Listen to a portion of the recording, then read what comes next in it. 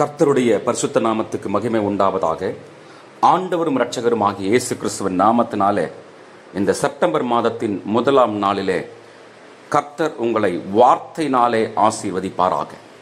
இந்த நாளிலே கர்த்தர் நமக்கு கொடுக்கிற வாக்குத்தத்தம். லூகாஸ் விசேஷ புஸ்தகம் ஒன்றாவது அதிகாரம் பதிமூன்றாவது வசனத்தில் இருக்கிறபடி கர்த்தர் சொல்லுகிறார் பயப்படாதே உன் வேண்டுதல் கேட்கப்பட்டது. பயப்படாதே உன் வேண்டுதல் கேட்கப்பட்டது என்று கர்த்தர் சொல்லுகிறார். அருமையான தேவ பிள்ளைகளே இந்த சத்- சத்தத்தை கேட்டுக்கொண்டிருக்கிற சகோதர சகோதரிகளே இந்த வார்த்தையின் மூலமாய் கர்த்தர் உங்களுக்கு நெடுநாளாய் காத்திருந்த ஒரு காரியத்தை வாய்க்க பண்ண போகிறார் என்பதை இயேசு கிறிஸ்துவின் நாமத்தில் நான் உங்களுக்கு அறிவிக்கிறேன். அருமையான தேவ பிள்ளைகளே இந்த வார்த்தையை இந்த வாக்கு ஆண்டவர் யாருக்கு கொடுத்தார்? வேதாகமத்தில் எழுதப்பட்டிருக்கிறதே இதை யாருக்கு தேவன் கொடுத்தார் என்றால் சகரியா என்கிற ஒரு மனுஷனுக்கு கொடுத்தார். இந்த சகரியாவும் அவருடைய மனைவி எலிசபெத்தும் தேவனை நம்புகிற தேவனை சேவிக்கிற தேவனுக்கு பயந்த ஒரு குடும்பமாக இருந்தார்கள். இந்த சகரியா ஆசாரிய வகுப்பில் ஆசாரிய ஊழியம் செய்கிற ஒருவனாய் இருந்தார். இவர்கள் வயது சென்றவர்களாய் இருந்தார்கள் என்று வேதம் சொல்லுகிறது. வயது சென்ற காலத்திலும் கூட இவர் தன்னுடைய முறைமையின்படியே ஆசாரிய ஊழியத்தை சரியாக பொறுப்பாக செய்கிறவராயிருந்தார். அவருடைய நாள் வரும்பொழுது அவருடைய வேலை வரும்பொழுது அவருடைய பொறுப்பு என்று வரும்பொழுது தன்னுடைய ஆசாரிய ஊழியத்தை கவனமாய் சரியாய் செய்து கொண்டு வந்தார்.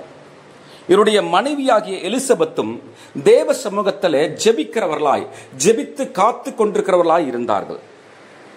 ரெண்டு காரியத்தை இந்த முதலாம் அதிகாரத்தை வாசிக்கும் பொழுது தெரிந்து கொள்ளலாம். ஒன்று சகரியா ஆசாரிய ஊழியம் செய்வதில் உண்மையாக இருந்தார் ரெண்டாவது தொடர்ந்து நம்ம வாசிக்கும் பொழுது இன்னொரு காரியத்தை கர்த்தர் நமக்கு உணர்த்துகிறார்.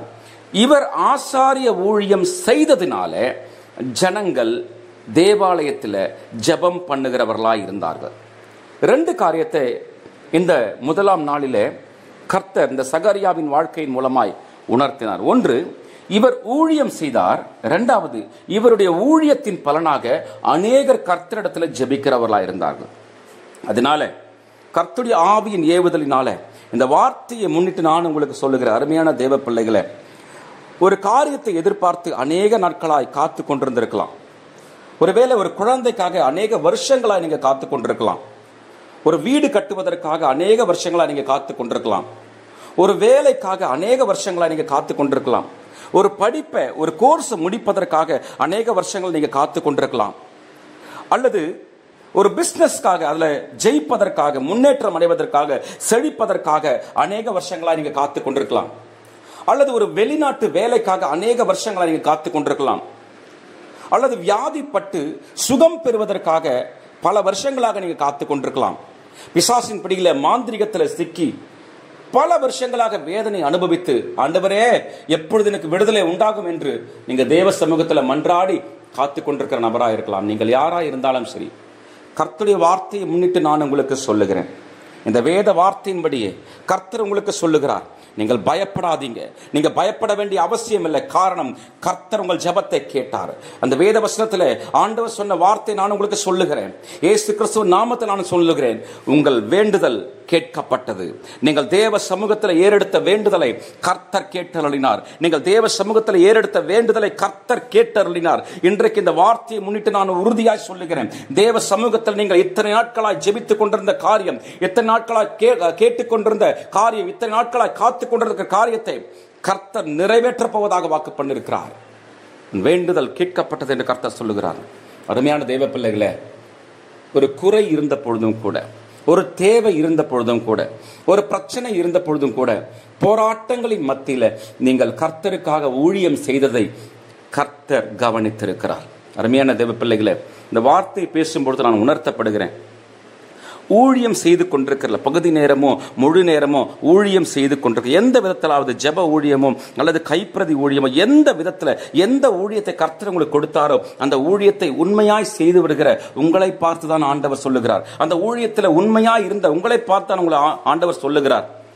ஒரு தேவையின் மத்தியில ஒரு பிரச்சனையின் மத்தியில ஒரு எதிர்பார்ப்பின் மத்தியில ஐயோ எத்தனையோ பேருக்கு கிடைக்கிற நன்மை இதுவரைக்கும் எனக்கு கிடைக்கல என்ற எதிர்பார்ப்பு அங்கலாய்ப்பின் மத்தியில.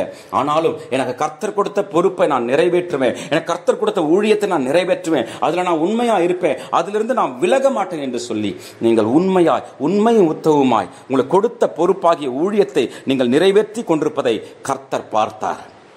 உங்கள் ஊழியத்தின் மூலமாய் அநேகர் கர்த்தருக்குள்ள வந்ததை அநேக ஆத்துமாக்கள் ஆதாயம் செய்யப்பட்டதை அநேகர் ஜபம் பண்ணுகிறவர்களாய் மாறி இருக்கிறதை அநேகர் தேவனை தேடுகிறவர்களாய் மாறி மாறி இருக்கிறதை கர்த்தர் கவனித்திருக்கிறார். உங்கள் கிரியைகளை பார்த்த தேவன் நீங்கள் கர்த்தருக்காய் பட்ட பிரயாசங்களை பார்த்த தேவன் நீங்கள் கர்த்தருக்காய் பட்ட பிரயாசங்களிலே உண்மையாக இருந்ததை பார்த்த தேவன் இன்றைக்கு நான் இன்றைக்கு உங்களுக்கு சொல்லுகிறார். இன்றைக்கு உங்களுக்கு சொல்லுகிறார் பயப்படாதே உன் வேண்டுதல் கேட்கப்பட்டது என்று. அருமையான தேவ பிள்ளைகளே சந்தோஷப்பட்டு களி கூறுங்க. உங்கள் வேண்டுதலை கர்த்தர் கேட்டு விட்டார் உங்கள் வேண்டுதலுக்கு கர்த்தர் பதில் கொடுக்க ஆயத்தமாகி விட்டார் உங்களுக்கு பதில் கிடைக்கிற நாள் வந்து விட்டது உங்க வாழ்க்கையில் அற்புதம் நடக்க வேண்டிய நாள் வந்து விட்டது உங்க வாழ்க்கையில் அதிசயம் நடக்க வேண்டிய நாள் வந்து விட்டது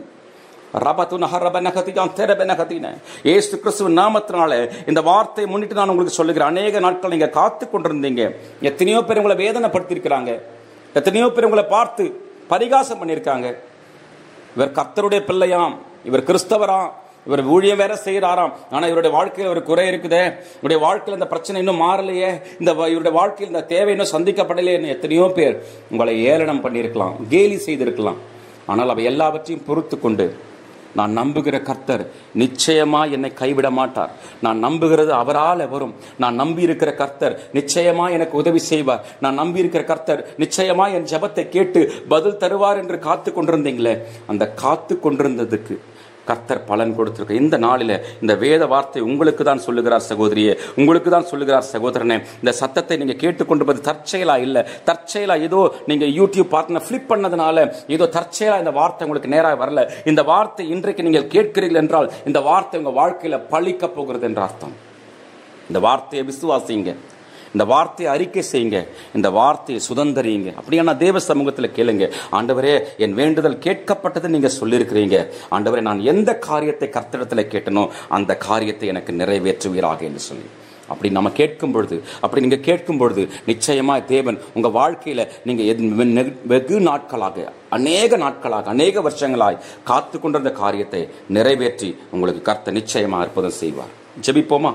கிருபை உள்ள அன்பு தகப்பனே உயிர்த்தெழுந்த இயேசு கிறிஸ்துவின் வல்லமையுள்ள நாமத்தினாலே ஆண்டவரே இந்த சத்தத்தை கேட்டு கொண்டிருக்கிற அருமையான தேவ பிள்ளைகளுக்காக நான் செபிக்கிறேன் எந்த காரியத்துக்காக தேவ சமூகத்தில் இவர்கள் காத்து கொண்டிருந்தாங்களோ எந்த காரியத்துக்காக தேவ சமூகத்தில் ஜெபித்து காத்து கொண்டிருந்தாங்களோ எந்த எந்த காரியத்துக்காக எந்த காரியம் நிறைவேற வேண்டும் என்று தேவ சமூக சமூகத்தில் எதிர்பார்ப்போடு காத்து கொண்டிருந்தாங்களோ அந்த எதிர்பார்ப்புகளின் மத்தியில் தேவையின் மத்தியில் அந்த பிரச்சனை போராட்டங்களின் மத்தியில் உமக்கு ஊழியம் செய்வதையும் விடாமல் ஜனங்களை ஆத்துமாதாயம் செய்வதையும் விடாம தனக்கு கிடைத்த ஊழியத்தை தனக்கு கர்த்தர் கொடுத்த ஊழியத்தை சபையின் மூலமாய் கொடுத்த ஊழியத்தை கர்த்தராய் நேரடியாக கொடுத்த ஊழியத்தை செய்வதில் உண்மையா இருந்து அந்த ஊழியத்தையும் செய்து எதிர்பார்ப்புகளோடு கூட உம்மை நோக்கி பார்த்து கொண்டிருந்தாங்களேப்பா.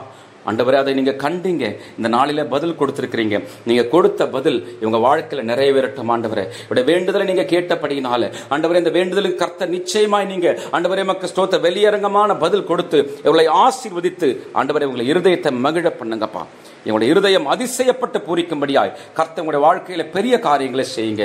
உம்முடைய கரத்துல இவர்களை ஒப்பு கொடுத்து ஜெபிக்கிற தகப்பனே ஆராய்ந்து முடியாத பெரிய காரியங்களையும் எண்ணி முடியாத அதிசயங்களை செய்கிற தெய்வம் இந்த வாழ்க்கையில் அற்புதம் செய்யுங்க. ஆண்டவரே இந்த ஒன்பதாம் மாதம் முதலாம் தேதியில இந்த சத்தத்தை கேட்டுக்கொண்டிருக்கிற யாவரையும் நான் ஆசீர்வதிக்கிறேன். உடைய தேவைகள் எல்லாம் பூரணமாய் சந்திக்கப்படுவதாக இந்த பிரச்சனைகள் எல்லாவற்றிலும் கர்த்தர் விடுதலை தருவீராக. இவர் எதிர்பார்த்து கொண்டிருக்கிற காரியத்தில் கர்த்தர் அற்புதம் செய்யுங்கப்பா. எதிர்பார்த்து கொடுக்கிற நன்மை கர்த்தர் ஆண்டவரே வாய்க்க பண்ணுங்க என்று நம்ம ஜெபிக்கிற தகப்பனே உம்முடைய கிருபையின் கரத்தில் ஒப்புக் கொடுக்கிறேன் ஆசீர்வதிப்பிறார் லூக்கா ஒன்றாம் அதிகாரம் பதிமூன்றாம் வசனத்தின்படியே.